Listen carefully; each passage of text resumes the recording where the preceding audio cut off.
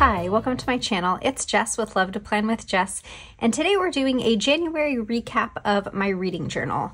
This is my 2024 reading journal, and we're going to take a peek inside.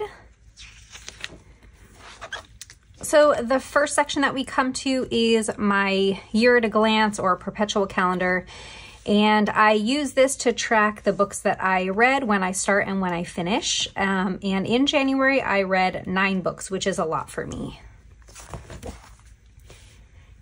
This is my January currently page. My reading goal was eight this month, and um, even that I kind of felt like was a stretch goal, but uh, I ended up reading nine books. I read every day, and I read 2,904 pages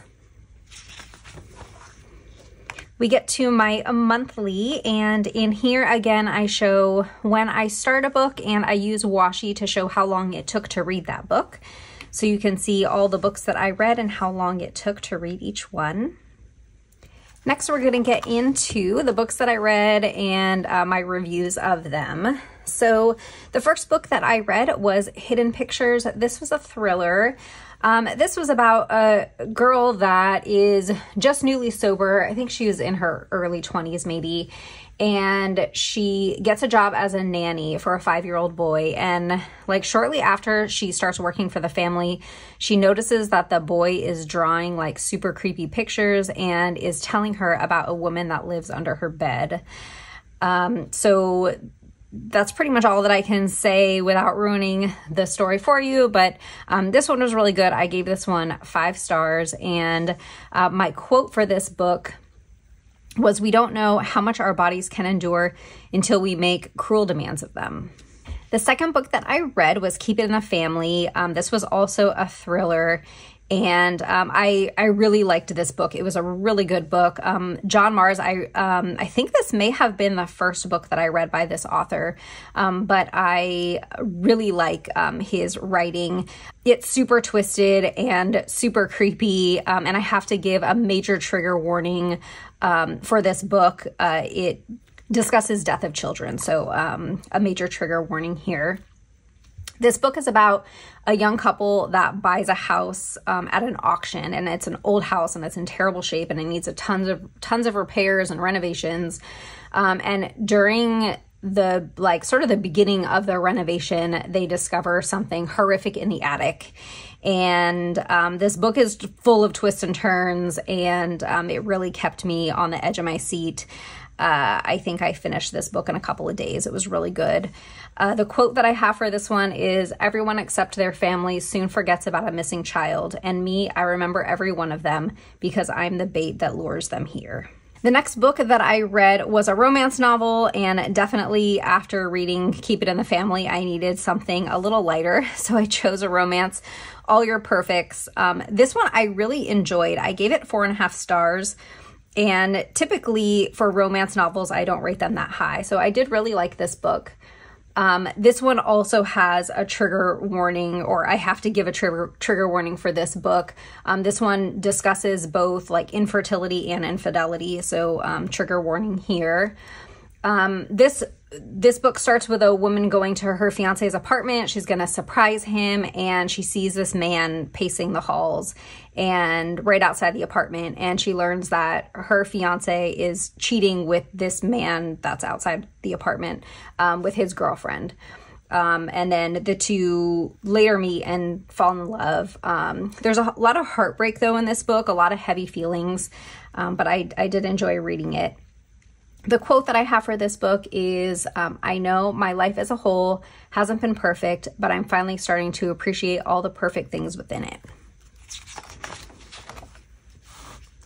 The next book that I read was another John Marrs book, and um, this was What Lies Between Us. Uh, this was another thriller, and um, I really liked this one too. I gave this one five stars. And this was uh, a book about a mother and daughter and their super twisted relationship and lots of secrets. Um, I This book was really good. Uh, the quote that I have for this one um, is This is the best decision I can make after a series of catastrophically bad ones. The next book that I read was None of This Is True. This was also a thriller, and I gave it four stars. Um, this book was good. I enjoyed it. It's about a um, really popular podcaster that meets a woman on her 45th birthday and they realize that they're birthday twins. They have the same birthday. Um, and she decides to make a podcast with her birthday twin, sort of, I guess, about the fact that they're birthday twins. And it ends up turning into like a true crime story. Not like true crime, true crime, like in the real world, but true crime, like in the book. Um, but this one was good. And my quote for this one was As awful as it sounds, death is a clean break. There are no gray areas, no ambiguity. It's like a blank canvas in a way. Next, I read another Colleen Hoover romance novel. It was um, November 9. This one, uh, I gave it four stars. I really enjoyed it. It was about a guy and a girl that meet. Um, they meet the day that she's going to be moving from LA to New York City. So she's going to be moving across the country. They have this amazing day, an amazing connection. And before she leaves, they decide that they're going to meet once a year for five years on this day, on November 9th. And I guess at the end of that five years, if they decide that they want to be together, then they'll be together. My quote for this book was We're only given one mind and body at birth, and they're the only ones we get, so it's up to us to, to take care of ourselves. The next book that I read was I'm Glad My Mom Died. This was a memoir. Um, this one, I I enjoyed it. Um, I gave it three stars. And the way that I rate my books, um, five stars is kind of like uh, I couldn't put it down. It was, you know, that good that I just kept wanting to pick it up and read it. Um, four stars is this book was great. I would recommend it. Um, three stars is it was a really good book, but it wasn't amazing. And then two stars was I barely got through it, and one star would be I didn't finish it. So that's kind of how I, I rate my books. And I gave this one three stars. It's about um, Jennette McCurdy and a story about how she became an actress and her relationship with her mom.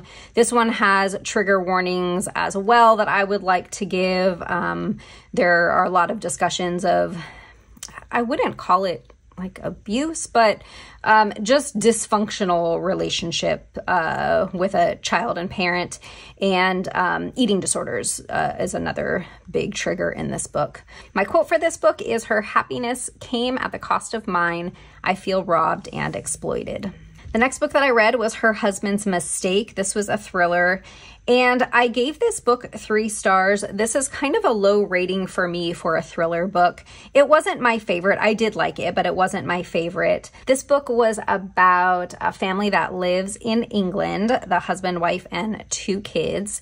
And um, when they were younger and when the kids were like first born, they lived in New York City. Something really bad happened when they were there and they moved back to England and they have never gone to New York City since.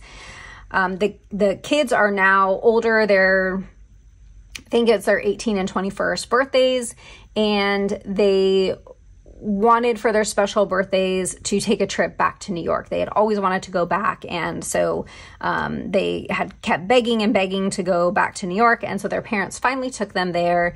Um, and some bad stuff happened when they got there. So, um, my quote for this book was You don't appreciate how peaceful life was before you had something to feel guilty about, and by the time you do, it's too late to ever go back to how you were before. The last book that I read was Lessons in Chemistry. This was a tragic comedy. I didn't know that that genre um, existed, but that's what um, that's what it's categorized as. I gave this book four stars. I I really enjoyed it. I actually watched the series on I think it's Apple TV. Um, and I watched the series first, which I try not to do. If I'm going to read a book, I like to read the book first before seeing the movie or watching um, the TV show.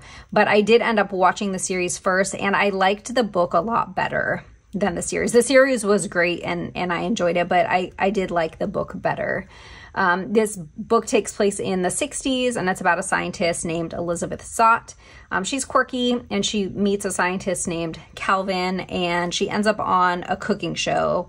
And uh, it's sort of a story about Elizabeth and her relationship with Calvin, um, but more about her. And um, I, I really liked it. It was it was a good book. The quote that I have for this book is: "People often underestimate what a pregnant woman is capable of, but people always underestimate what a grieving pregnant woman is capable of." So those were the nine books that I read. I have a few trackers. I have my reading 100 books and I colored in the nine books on my bookshelf. And the way that I'm going to be coloring these books in is use the same color for the entire month. So when you glance at this at the end of the year, you'll see 12 different colors and you'll see how many books that I read each month. I thought that would be kind of cool. My next tracker is the Reading 100 Books. This is from uh, Plan with Elise from her Etsy shop. And I think that this will look really cool once it's all filled out with these tiny little um, book covers. Oh, and I wanted to mention with this one, I didn't purchase this from anywhere. Um, I just made this myself on my computer. My reading A to Z challenge, this was something that I wasn't sure how it was going to work. Um, instead of, I actually have a regular one, instead of just having like a A to Z challenge where you just write the book title on a line, I created these uh, like block letters where you could write the book title within the letter and then color it. Um, so it's been fun so far. Um, and I have what, one, two, three, four, five, six, seven letters done. And the last tracker that I have is my books and pages. So in January, I read nine books um, and 2,904 pages. So that is it. That is my January recap of my reading journal. I hope you enjoyed this video. Um, if you have a book recommendation, I would love to hear it in the comments. And I'll see you next time. Bye.